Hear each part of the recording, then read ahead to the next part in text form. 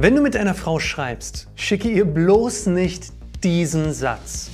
Wann hast du Zeit? Dieser eine Satz ist inhärent unattraktiv, weil er abhängig ist. Um es besser zu sagen, indem du diesen Satz aussprichst, machst du dich von ihr abhängig. Nun, das Ganze ist natürlich anders, wenn ihr schon seit Wochen miteinander ausgeht, miteinander schlaft und sogar ein Paar seid. Aber der Grund, warum es dann okay ist, liegt daran, dass sie weiß, wie es gemeint ist, weil sie dich dann schon lange kennt. Sie weiß, dass du sehr wohl ohne sie zurechtkommst, du dein eigenes Leben hast, unabhängig bist, sexy und attraktiv. Darum dürftest du dir in diesem Kontext den Satz erlauben. Aber weißt du, am Anfang eures Kennenlernens, da kennt sie diese ganzen Charaktereigenschaften an dir noch gar nicht. Sie weiß nicht, dass du auch ohne sie zurechtkommst. Sie weiß nicht, ob du vielleicht einer von diesen abhängigen Männern bist. Du könntest allen Chancen nach dich auch wieder wie der letzte Mann herausstellen, der sie nicht loslassen konnte, sie auf ein Podest gehoben hat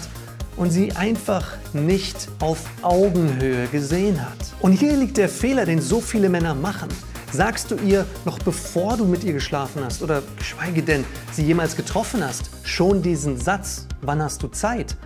Dann kommt bei ihr leider an, ich würde alles stehen und liegen lassen für dich, wenn du dir nur für mich Zeit nimmst. Ich habe nämlich kein eigenes Leben. Ah, ich bin es gar nicht wert, sie zu fragen. Sie ist so viel besser als ich. Um, wann hast du denn Zeit für mich? Du hast ein wahrscheinlich viel interessanteres Leben als ich und deswegen mache ich meine Entscheidung vollkommen von deiner abhängig. Wann hast du denn für mich Zeit? Damit würden wir nicht sagen, dass wir eine Partnerin wollen, die auf Augenhöhe mit uns ist. Nein, damit würden wir kommunizieren, dass wir jemanden suchen, der uns weit überlegen ist. Aber viel attraktiver, unabhängiger und wahrheitsgemäßer wäre es doch, ihr zu sagen, du, ich habe diese Woche nur an zwei Abenden Zeit. Aber ich würde dich gerne sehen. Dieser Satz kommt unabhängig und wertschätzend an. Das ist Selbstliebe plus Liebe für andere. Das ist, wenn du sagen kannst, ich will dich, aber ich bin nicht auf dich angewiesen. Um es safer zu machen, kannst du ihr erstmal schreiben, hey, hey, ich habe eine Idee. Und nachdem sie antwortet, sagst du, wann bist du das letzte Mal völlig stressfrei und entspannt durch die Innenstadt geschlendert? Dann sagt sie dir etwas. Und daraufhin antwortest du, ich könnte Dienstagabend so ab 18 Uhr, aber leider nicht allzu spät.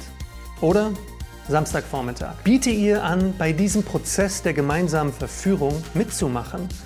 Es liegt nicht alles nur an dir, aber der erste Impuls, der sollte von einem unabhängigen und attraktiven Mann kommen. Und wenn du wissen willst, was natürliche Frauen besonders attraktiv an einem Mann finden und was die eine Eigenschaft ist, die dich von den lauten Egoisten und Arschlöchern unterscheidet, dann schau dir dieses Video an.